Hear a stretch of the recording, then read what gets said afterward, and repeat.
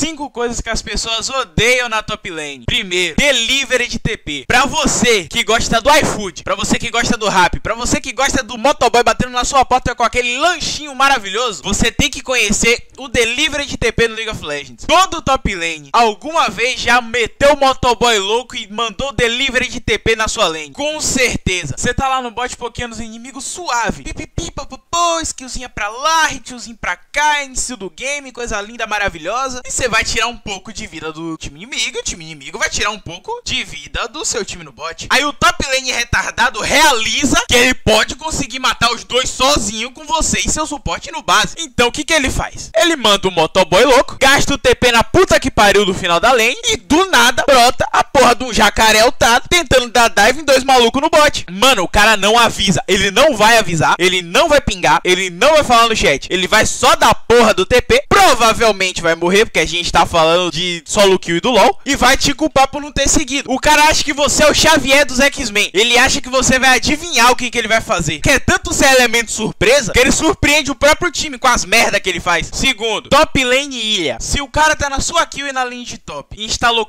Nasus, Trinda, Yorick, esses bonecos que só servem pra puxar lane, você considera ele automaticamente o minion do top. Porque vai dar 40 minutos de jogo. 40 minutos de jogo. Você vai olhar pro top e ele vai estar tá exatamente no mesmo lugar. É capaz dele nem levar a torre. O maluco não sai do top. A porra do cachorrão pode estar tá com 700 stacks. 10 barra 0 no top. Full build. Ele vai ignorar o resto do jogo. Vai ficar só com top. Mano, eu já perdi game que tinha 5 malucos destruindo meu inibidor. E o Nasus estava lá, suave no top. De TP up e farmando. Ignorando o resto do mapa. Levando T1. Terceiro, top ranged. Você abre kill a fim de trocar socão no top. A fim de uma luta saudável, sabe? Porra, espadinha, machado, martelo. Querendo uma troca franca no top. Aí você vai lá, pica lá seu Shin, seu jacarezão. Louco pra ter um top divertido. Aí quando você chegar na lane, você se depara com uma Vayne te esperando lá. Ou pior, a porra de um Timo. Timo top ranqueada. Quem pica Timo tem que tomar surra de cinta da mãe pra aprender. O cara prefere enfiar a frontline dele e do time inteiro no cu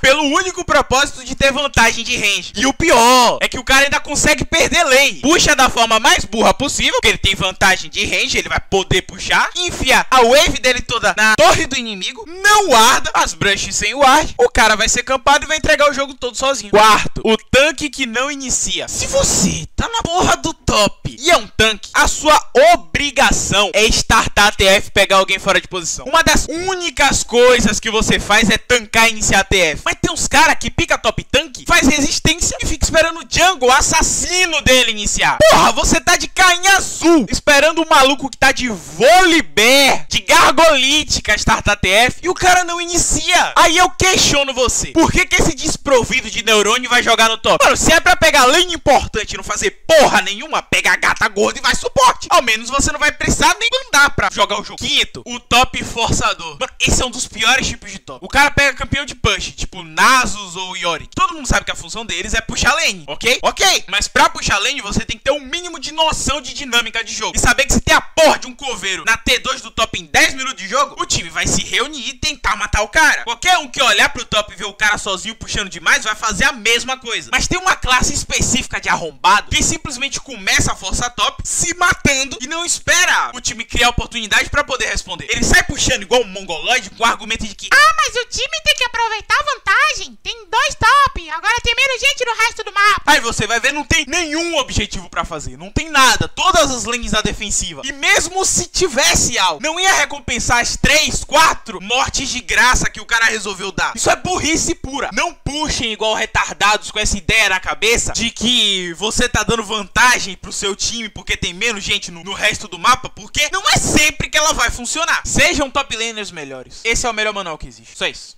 É nóis.